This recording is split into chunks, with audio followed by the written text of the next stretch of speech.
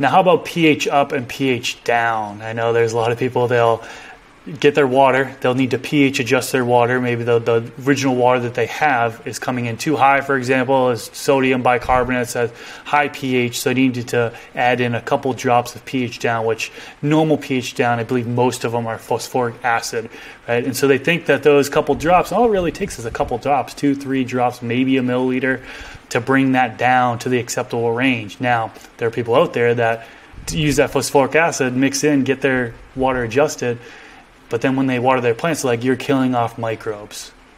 What's your take no. on that? Uh, so once you actually dilute the pH up and pH down, it's not going to have any effect on the microbes. Like I was saying earlier, they're able to operate at a real wide range of pHs.